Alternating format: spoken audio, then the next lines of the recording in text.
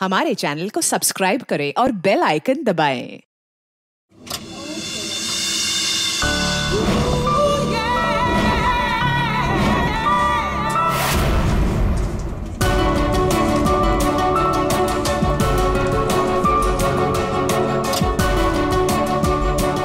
May I come in, sir?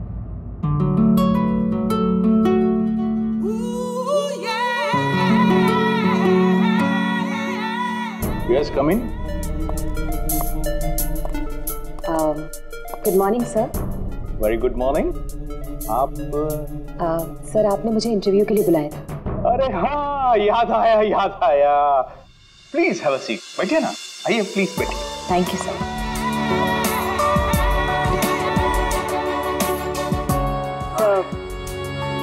this is my CV इसकी कोई ज़रूरत नहीं है। मैं देखकर ही जान जाता हूँ कि कौन मेरे कितने काम का है।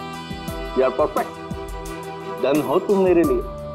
सर लेकिन आपने तो कुछ देखा ही नहीं. मैंने कहा ना इसकी कोई ज़रूरत नहीं. क्या है बहुतों की लाइफ बनाई है मैंने? अब तुम देखती जाओ मैं तुम्हारी भी लाइफ बना दूँगा. मेरे हाथ में गन है. जरा सा भी हिलने की या चिल्लाने की कोशिश की ना. तो ट्रिगर कब जाए क्या चाहते हो तुम? कल तुम किसी से मिले थे जो तुम्हें कुछ बेचना चाहता था। कौन है वो? मेरे पास उसका नंबर है। नंबर दो।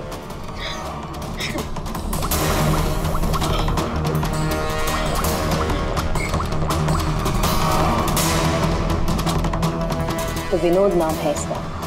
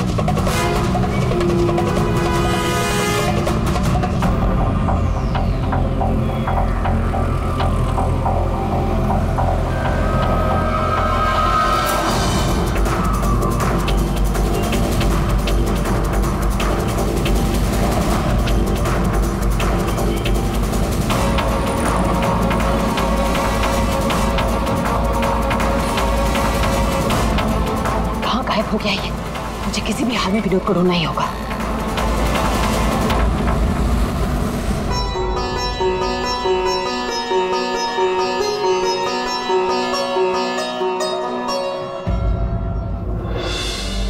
अरे प्रीति बेटा ये विनोद कहाँ चला गया?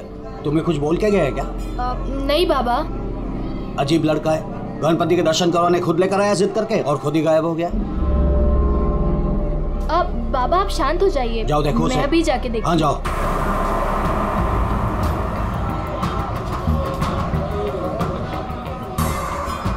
फ़ोन भी नहीं उठा रहे।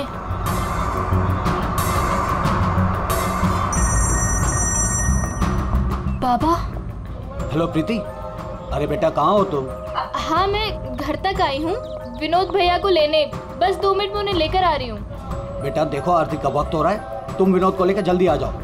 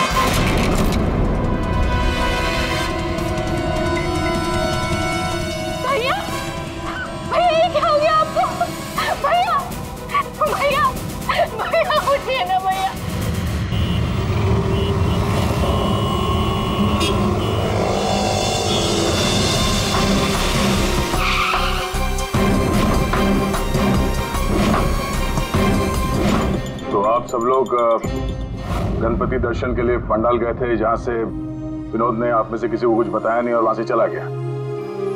जी। अच्छा आप लोगों में से किसी ने विनोद को वहाँ पंडाल में किसी से बात करते हुए देखा? था जी नहीं सर। हम लोगों को तो पता भी नहीं चला कि भैया अचानक से कहाँ चले गए। तीन महीने पहले ही उसे बहुत ही अच्छी जगह नौकरी मिली थी। बहुत खुश था वो।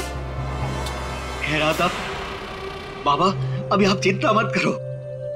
मैं हूँ ना? कहा सर क्या हो गया ये? विनोद का तो किसी ने खून कर दिया। अब मुझे वो सच्चाई कौन बताएगा जो सिर्फ़ विनोद ही बता सकता था?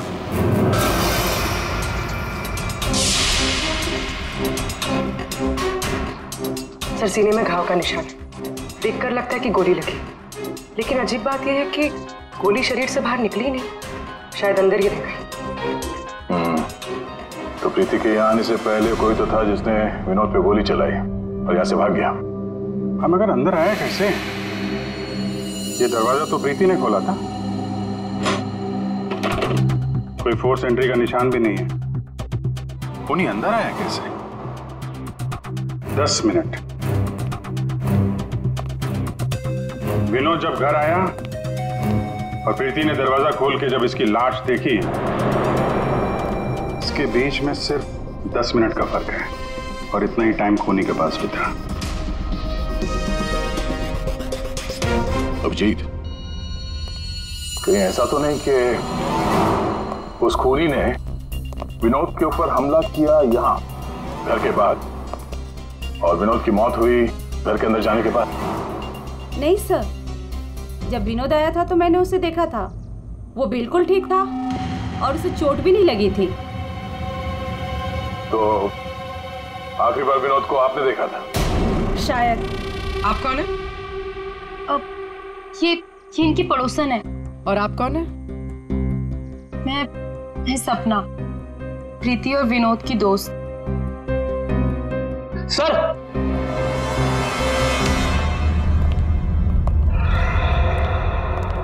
हाँ मुझे पता चल गया। यहाँ पे क्या हुआ है? क्या हुआ है? विनोद ने इस कमरे में अपने आप को गोली मार ली। अरे सर यही तो हुआ होगा। आपने तो केस सॉल्व कर दिया। मतलब किलर और विक्टिम एक ही है?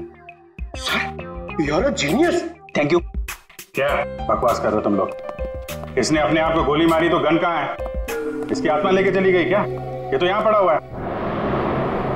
गोली तो चली है। लेकिन किसी और के हाथ से।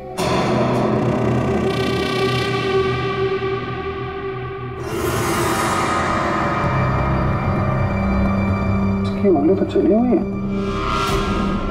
आसपास देखते हैं।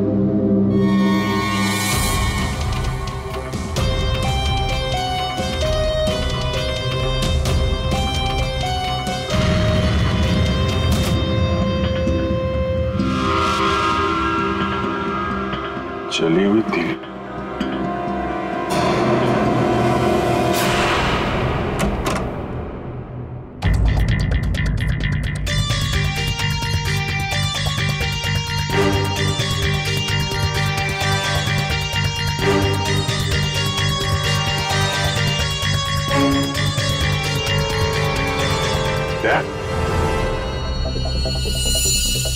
देखो कागज़ जलाए गए हैं शायद इस विनोद ने जलाया होगा।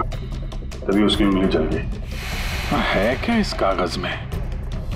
बस जिस गोली को आप लोग तलाश कर रहे हो दरअसल यहाँ छिप करके बैठी है ये देखो। विनोद के सीने में जाकर के अटक गई है। जिस गोली से विनोद की मौत हुई है वो उसके शरीर से बाहर कहीं नहीं। जहाँ विनोद की लाश मिली वहाँ पर कोई गन नहीं थी। एक बार ये गोली निकलेगी ना तो पता चल जाएगा कि कौन सी गन से गोली चली है। और फिर क्या विनोद ने आत्महत्या की थी या फिर किसी ने विनोद को मार डाला? बिल्कुल बॉस लेकिन अभी मैं आपको एक और ज़रूरी चीज़ दिखाना चाहता हूँ। एक जला हुआ कागज़ का टुकड़ा। काफ़ी कुछ जल चुका है लेकिन मैंने थोड़ा बहुत रिकवर कर लिया है बचा लिया इस पर कुछ खास लिखा हुआ है। T T H dot E N T क्या हो सकता है सर ये T T H E N T entertainment या फिर एंटरप्राइजेस ये तो कोई कंपनी है ज़रूर। लेकिन एक बात समझ में नहीं आ रही है कि ऐसे क्या था खास इस कागज़ के टुकड़े पर जो विनोद इसे जलाकर मिटाना चाहता था। और फिर ये टीटीएच एंटरप्राइजेस ये क्या कंपनी है? कहाँ पर है ये कंपनी? सर ये टीटीएच क्या है? मुझे नहीं पता। मैंने पहली बार सुना ये नाम। विनोद की लाश के पास से हमें एक जला हुआ कागज़ मिला था। उस पर टीटीएच लिखा था। विनोद आपकी कंपनी में काम करता था तो हमें ऐसा लगता है कि टीटीएच का और आपकी कंपनी से कोई ना कोई कनेक्शन ज़रूर है। विनोद का खून हो गया। उसके बारे में कुछ पता है आपको? देखिए सर मैं सर सर एक सेकंड सर मैं बताता हूँ आपको। सर सुभाष सर तो एक नेक दिल इंसान है। ये शायद आपको वो बात नहीं बता पाएँगे। वो बात? कौन सी बात? यही कि सुभाष सर ने विनोद को यहाँ काम पर रखा। लेकिन उसने इसके बदले में अरुण। सर प्लीज़ मुझे कहने दीजिए। सर विनोद यहाँ पिछले एक महीने से काम पर नहीं आया। लेकिन विनोद के पिता ने हमसे कहा कि वो हर रोज उसे ऑफ़िस के बाहर छोड़ के जाते थे। हाँ सर लेकिन वो अंदर नहीं आता था। और उसके ना आने की वजह से सर आपको पता है सुभाष सर का कितने का नुकसान हुआ है? विनोद को लेकर तुम्हारे अंदर काफ़ी गुस्सा है हा? तुम हो कौन? और ये तुम्हारे चेहरे पे क्या हुआ? सर मैं अरुण। मैं यहाँ पे काम करता हूँ। सर एक दिन मैंने विनोद को ऑफ़िस के बाहर पकड़ लिया था। जब उसके पिताजी उसे ऑफ़िस के बाहर छोड़कर जा रहे थे। सर मैंने उसे बहुत सुनाया। यहाँ तक कि उसको ऑफ़िस ना आने के लिए भी मैंने उसको बहुत कुछ कहा। सर लेकिन उसने मुझसे लड़ाई कर ली। और ये ये उसी की वजह से हुआ है ये। आपको विनोद ने कुछ बताया था कि किस नई कंपनी में काम करने जा रहा है वो? सर मैंने विनोद से पूछा लेकिन उसने मुझे कुछ नहीं बताया। अब इससे ज़्यादा आप विनोद के बारे में मुझसे कुछ भी पूछेंगे तो मेरा जवाब ना ही होगा। तो इस विनोद ने पिछले महीने टीटीएच कंपनी में ही काम किया होगा। पंकज उसके पिछले महीने की कॉल डिटेल्स निकालो उसकी लोकेशन चेक करो। पता चल जाएगा कहाँ जाता था वह। ये वही जगह जहाँ विनोद इस महीने लगातार आ रहा था। इसके फ़ोन की लोकेशन भी यही बता रही है। ये लो। वॉच पे तो दिन में ही सो रहा है। ड्यूटी का खाक करता होगा ये? ए, उठ। अबे उठ। कौन हो भाई? ये टीटीएच इंटरप्राइजेस के बारे में कुछ पता है? नहीं मालूम। अगर मालूम भी है तो आपको क्यों बताऊँ? अजीब गुंडा कर दिया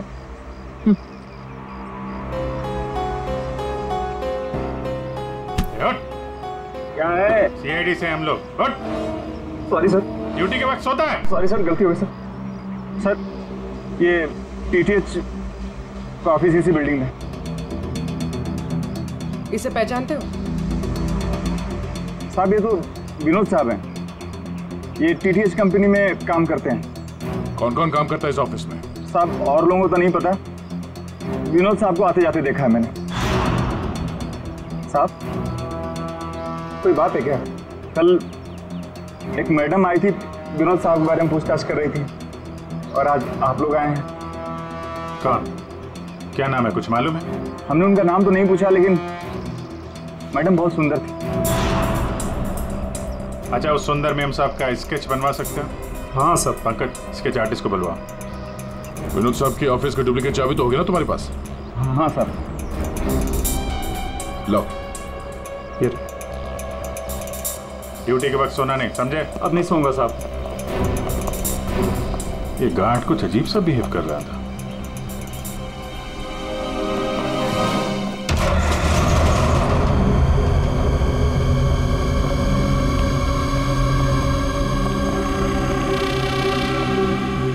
ये ब्लूम?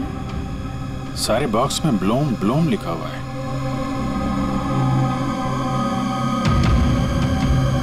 है क्या इस बॉक्स में?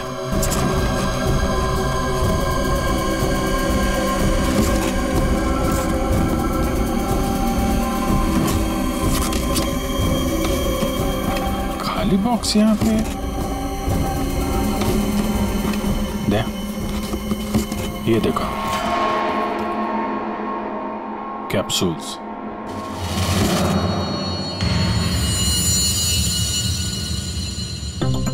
कहीं ये विनोद मेडिसिन वगैरह तो नहीं सप्लाई करता था? ये भी खाली है? खाली? अब ये क्या चक्कर है? कैप्सूल्स खाली बॉक्सेस खाली ऑफ़िस खाली। तो ये विनोद यहाँ करने क्या आता था? सर सर ये देखिए। ये लेटर हेड मिला टीटीएच ये तो ठीक वैसा ही लेटर हेड है जैसे विनोद ने अपने घर में जलाया था।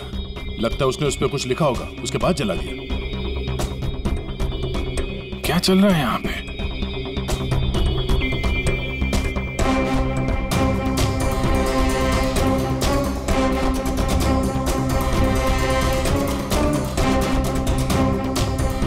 सर हाँ पूर्वी? सर ये देखिए। इसके अंदर कुछ कुछ छुपा कर रखा है। क्या निकालो? देखो ऑन होता है क्या? ऑन करो। ये तो किसी जगह का सीसीटीवी फुटेज है। लाइव है यार ये तो। हम्म। इसका मतलब है विनोद यहाँ से इस जगह पर नज़र रखे हुए था। कोई फैक्ट्री या वेयर हाउस लग रहा है? सर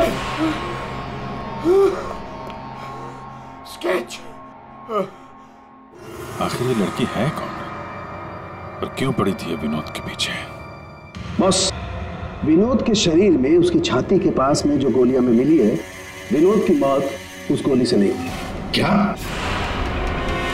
ये तो क्या बोल रहा है सारुण के? अगर उस बुलेट से मौत नहीं हुई विनोद की तो फिर कैसे? देखो बॉस मौत कैसे हुई ये तो पता नहीं लेकिन उस गोली से नहीं। देखो जब गोली शरीर के अंदर घुसती है तो बहुत ज़्यादा स्पीड में आती है। लगभग 700 किलोमीटर पर सेकंड की स्पीड से। और उसके सामने जो भी चीज़ आती है उसे डैमेज करती हुई जाती है। लेकिन विनोद की बॉडी में ऐसा कोई डैमेज नहीं। है ये गोली जहाँ पर मिली है उसके आसपास के टिश्यूज भी डैमेज नहीं है। ये कैसे हो सकता है? एक और बात। ये देख रहे हो टुकड़े। हाँ। ये टुकड़े मुझे वहाँ से मिले जहाँ विनोद को गोली लगी थी उस घाव के पास में से। है क्या ये? कैसे पहुँच गए? ये तो पता नहीं है लेकिन ऐसे बहुत सारे टुकड़े हैं। इन सबको जोड़ना पड़ेगा फिर देखना पड़ेगा कि टुकड़े कहाँ से आए ये टुकड़े हैं किस चीज़ के।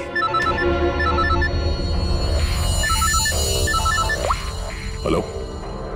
क्या? सर मेरी बच्ची। मेरी बेटी सर।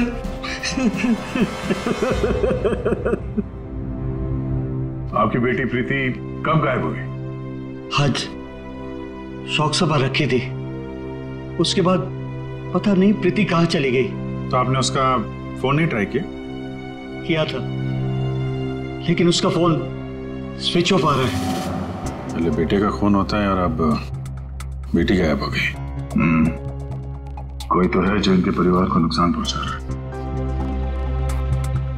आपने बताया कि आपके घर पे शोक सभा थी तो काफ़ी लोग आए थे।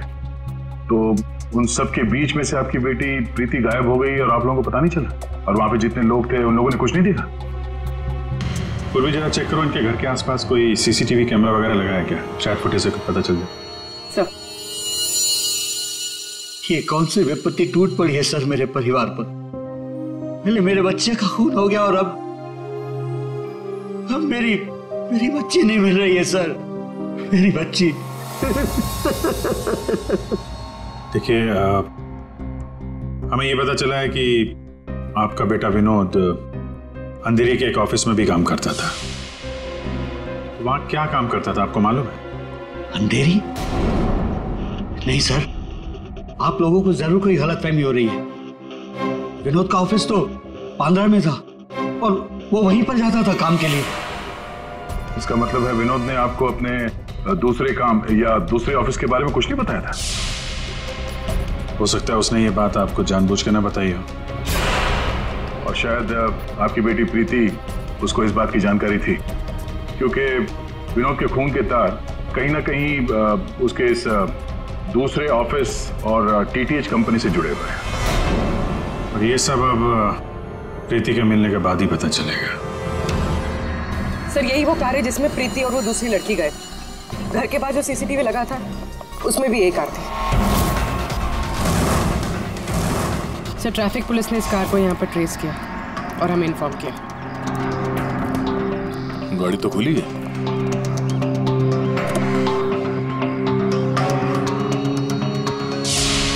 Oh no. डैशबोर्ड पे खून है? सर हो सकता है प्रीति के साथ हाथापाई हुई हो और ये खून उसी का हो। बड़ी अजीब जगह है, सर। हो सकता है कि प्रीति को यहीं कहीं आसपास रखा हो।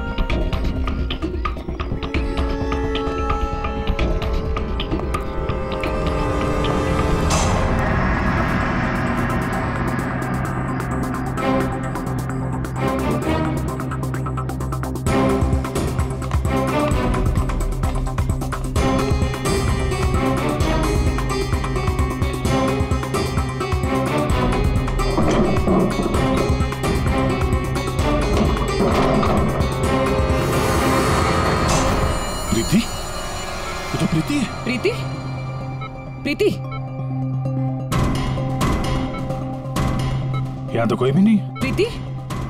प्रीति? प्रीति?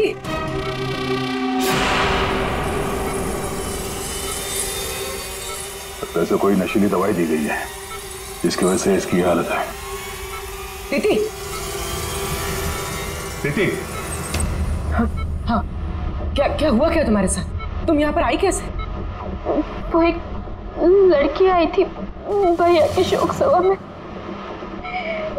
वो ही मुझे यहाँ लेकर आई उसने मुझे कहा कि भैया का एक पैकेट है उसके पास। वो मुझे देना चाहती थी।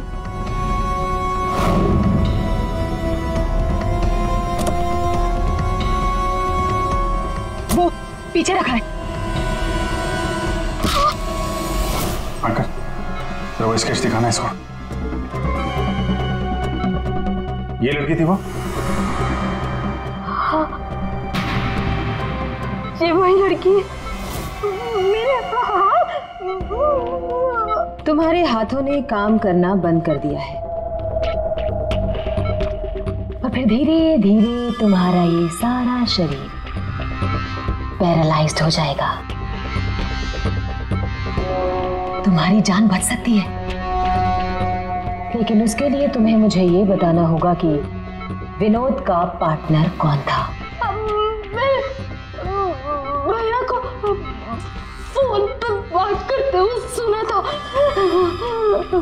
ये विनोद का साथी कौन है? कहीं इस पूरे साजिश में विनोद का ये साथी भी शामिल तो नहीं?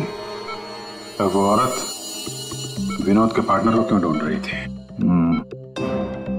तुमने बताया कि विनोद ने किसी फैक्ट्री के बाहर उसके साथी को मिलने के लिए बुलाया था। तो कहीं ये वही जगह तो नहीं जो हमने सीसीटीवी फुटेज में देखा था?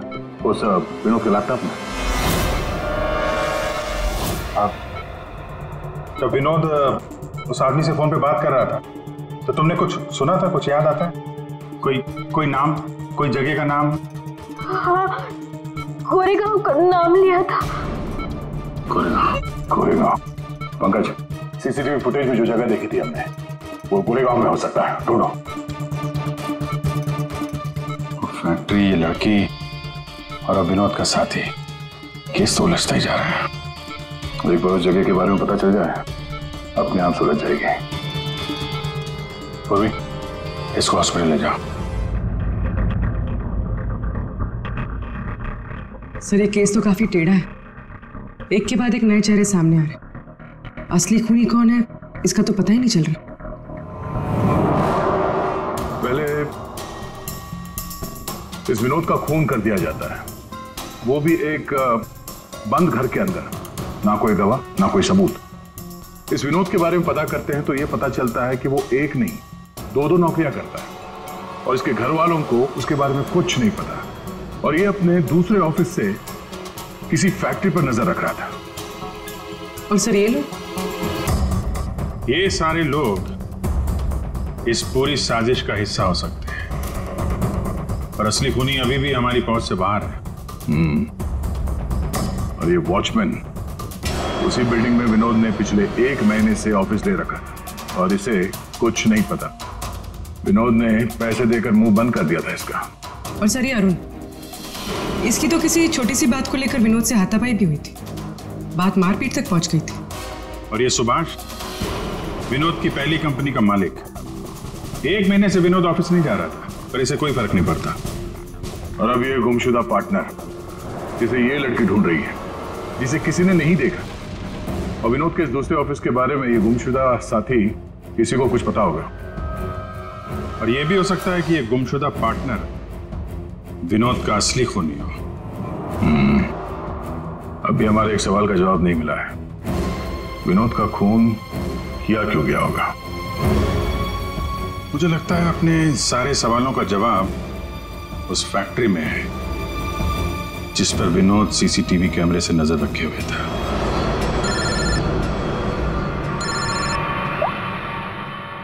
हाँ पंकज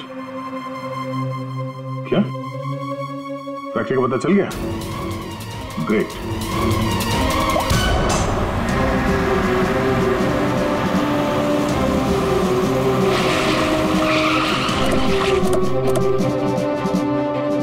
सर ये फैक्ट्री कई दिनों से बंद पड़ी है सर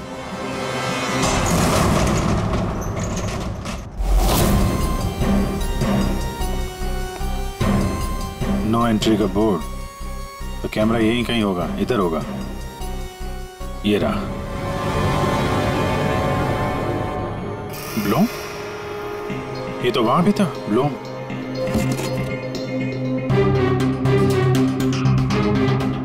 सर, ये तो वही कैप्सूल्स है जो हमें विनोद के ऑफ़िस में दिखे थे।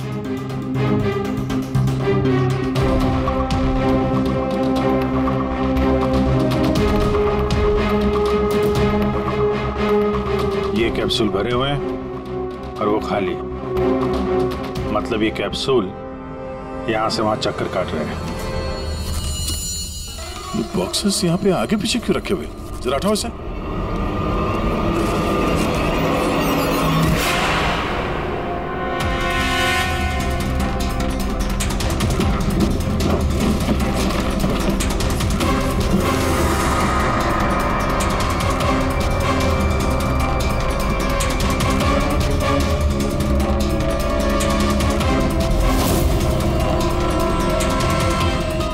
हो सकती है लड़की।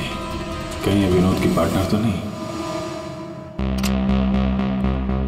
उस लड़की की मौत 48 घंटे पहले हुई है सारों के साहब ने बताया। गोली मारी है उसे। आखिर उस फैक्ट्री में से है क्या कि विनोद 24 घंटे उसमें नज़र रखता था? और अब इस लड़की की लाश मिलती है हमें वहाँ से। और वो दवाइयों की कैप्सूल अभी तक पता नहीं चला कि कैप्सूल के अंदर था क्या? सर उन कैप्सूल्स में जो पाउडर मिला है कहीं ये सब? उसके लिए तो नहीं हो रहा। मगर सिर्फ़ एक पाउडर के लिए कोई किसी की जान क्यों ले रहे हो? ऐसा क्या है खास उस पाउडर में? पाउडर में क्या है वो तो बहुत जल्द पता चल जाएगा। एसीपी साहब जमे हुए हैं सारों के साहब की लैब में।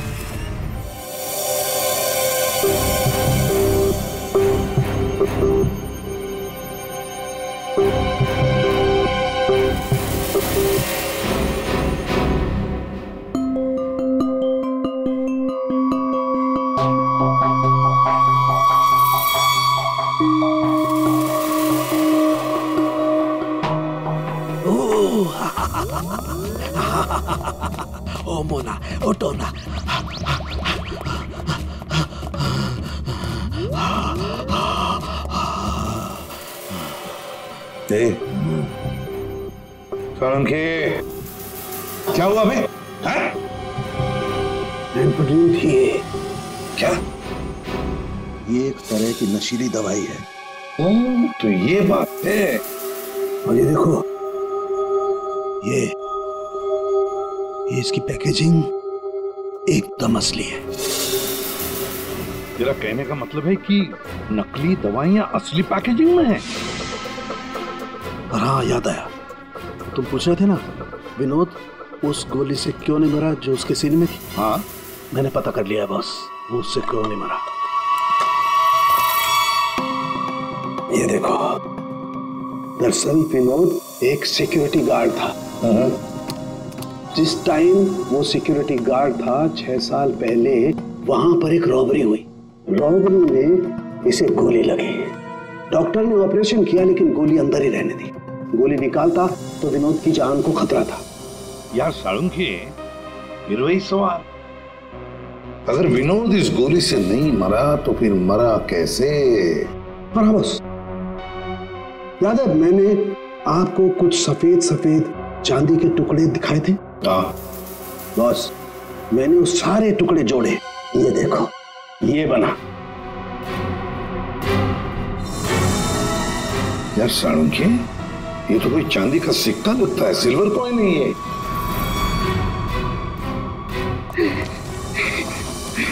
बच गया।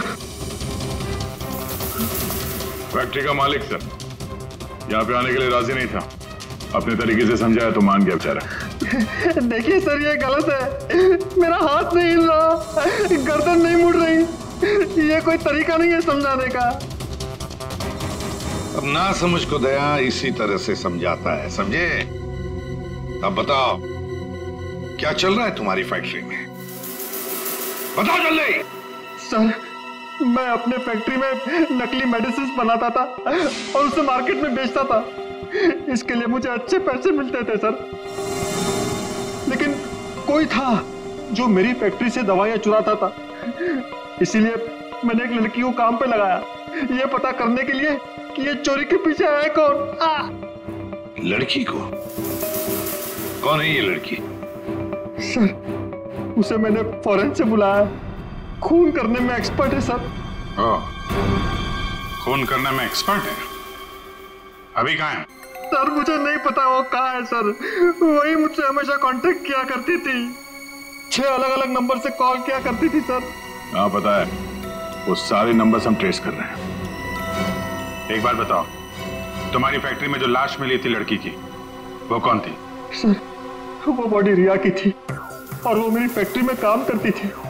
वो किसी विनोद नाम के आदमी की मदद कर रही थी मेरी फैक्ट्री से दवाइयाँ चुराने के लिए। और ये बात ये बात उस किलर लड़की को मालूम पड़ गई और उसने रिया को मार दिया सर। सर विनोद की साथी रिया हो सकती है। नहीं पंकज विनोद की वो गुमनाम साथीदार रिया नहीं है। क्यों सर? क्योंकि जो लड़की विनोद के साथीदार की तलाश में है उसने रिया को दो दिन पहले मारा और इस प्रीति को आज ही किडनैप किया अगर ये रिया विनोद की पार्टनर होती तो ये लड़की प्रीति से विनोद के उस जोड़ीदार के बारे में नहीं पूछती। मतलब सर वो लड़की अभी भी विनोद के साथी की तलाश कर रही है? हम्म। सर। सर वो किलर लड़की ने जो छह अलग अलग नंबर से इस विवेक को कॉल किए थे उनमें से सारे नंबर्स ऑफ़ आ रहे थे। लेकिन अभी अभी एक नंबर एक्टिवेट हुआ है, सिर्फ़ एक मिनट के लिए। तो फिर ज़रूर इस लड़की ने किसी के साथ बात करने के लिए ये नंबर ऑन किया है। एक मिनट तो काफ़ी है हमारे लिए ट्रेस करने के लिए। लग जाओ काम पे पूर्वी।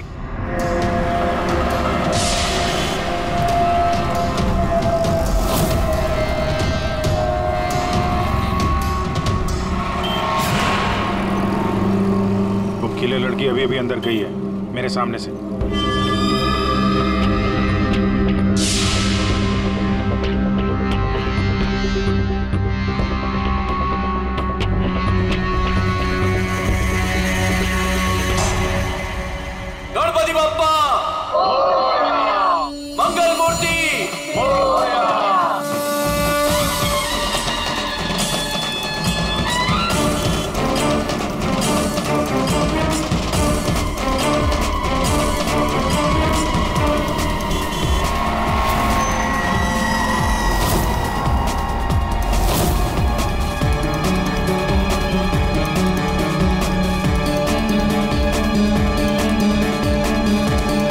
ये सपना अभी अभी अंदर गई है।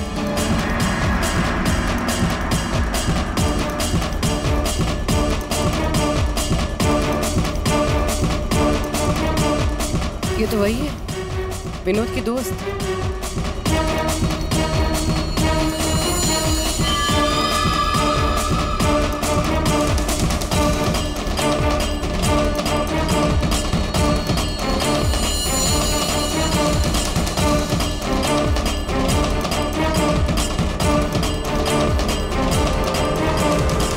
इसमें मैं सारा माल लाई हूँ। मैं खरीदने से पहले चेक करती हूँ।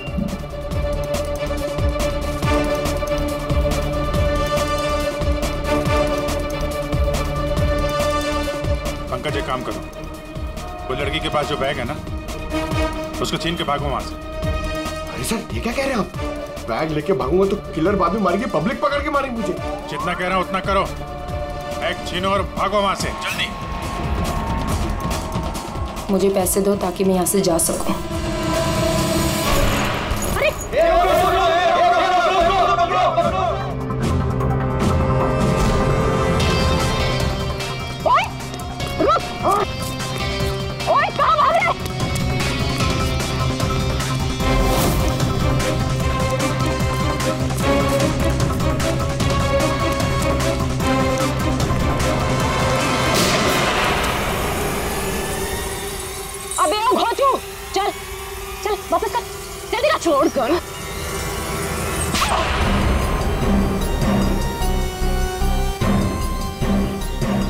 पैसों के लालच में अपने दोस्त की बलि दे दी? खून कर दिया उसका? ठीक गलत है। मैं और विनोद तो साथ में काम किया करते थे। मैं रिया की हेल्प से नकली दवाइयाँ चुराती थी और और विनोद उन नकली दवाइयों को बॉस तक पहुंचाता था। और इस काम के लिए बॉस हमें ढेर सारे पैसे देते थे। कौन है तुम्हारा बॉस? सब वो तो हमें नहीं पता क्योंकि विनोद ही उनसे डील किया करता था। प्लान बहुत अच्छा था। विनोद को रास्ते से हटाकर नकली दवाइयों का धंधा खुद चलाना हाँ? मेरा विनोद की मौत से कोई लेना देना नहीं। हाँ सच है कि उसकी हत्या के बाद मैं थोड़ा डर ज़रूर गई थी। और इसीलिए जितना भी माल मेरे पास बचा था सबको बेचकर मैं शहर छोड़ना चाहती थी। और इसीलिए मैं यहाँ पर आई थी। तुम तुम तो मौका ढूंढ रही थी ना विनोद को मारने का? इसीलिए रखा गया था ना तुम्हें? नहीं सर। विनोद को मार के मुझे क्या मिलेगा? बल्कि मैं तो मैं तो विनोद से वो चुराई गई दवाइयों के बारे में भी नहीं पूछ पाई। उससे पहले उसका खून हो गया। अच्छा। तुमने नहीं मारा। तुमने भी नहीं मारा। तो अपने आप मर गया वो आपने हमें यहाँ क्यों बुलाया सर? क्योंकि आप सबके पास विनोद को मारने का एक कारण है। और उसके लिए आप विनोद का खून कर सकते हैं।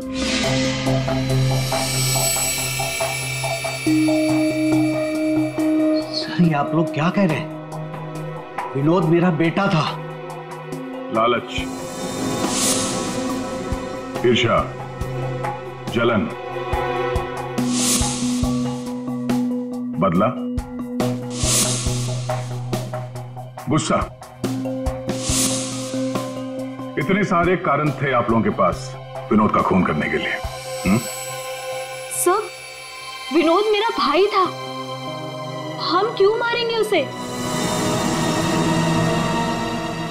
आप लोगों को विनोद भैया का कातिल नहीं मिल रहा। इसलिए आप लोग हमें फंसाने के लिए कहानी बना रहे विनोद का खून ही हमें मिल चुका है। विनोद का खून एक सिल्वर कॉइन से हुआ है। एक चांदी के सिक्के से। और ये है वो चांदी का सिक्का। सर इस चांदी के सिक्के से?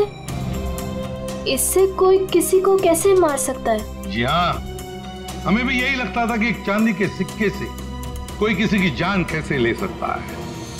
लेकिन हमारे फोरेंसिक सर्जन डॉक्टर साळुंके उन्होंने जब इसे अच्छी तरह से देखा उन्हें मिला इस कॉइन के अंदर एक छोटा सा छेद। और उस छेद के अंदर था एक बॉम्ब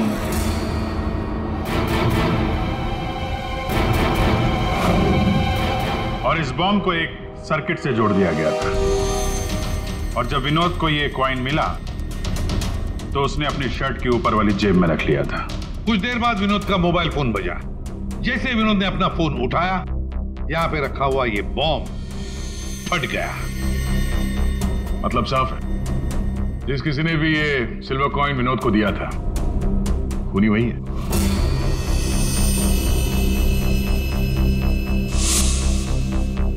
किसने दिया होगा ये कॉइन सर कौन है खूनी?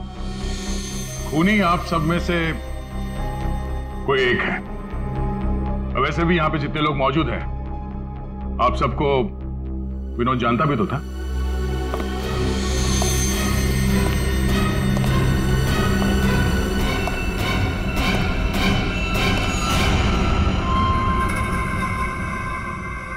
क्या बात है सर? आपने मुझे बुलाया?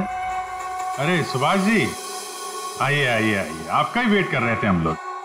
क्या केस जरा उलझ गया है? आपकी थोड़ी मदद चाहिए थी। हमारे पास कुछ है जो शायद हमें लगता है कि आपका है। और ये है वो चीज़।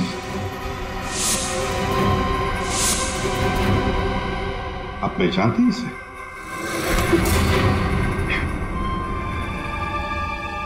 विनोद को तो तुमने ये सिल्वर कॉइन गिफ्ट किया। रिटर्न गिफ्ट भी ले जाओ।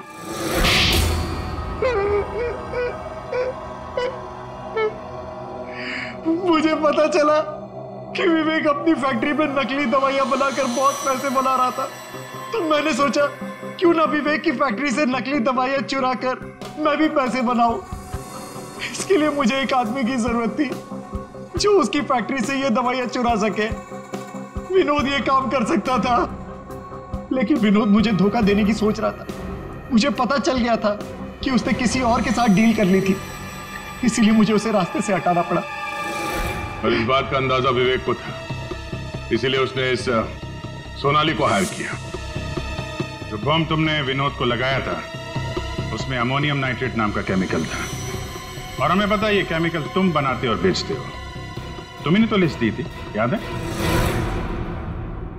नकली दवाइयाँ बाज़ार में लाकर, लाखों लोगों की ज़िंदगी के साथ खिलवाड़ किया है तुम लोगों ने। ऐसे जुर्म के लिए सिर्फ़ एक ही सजा है, फांसी।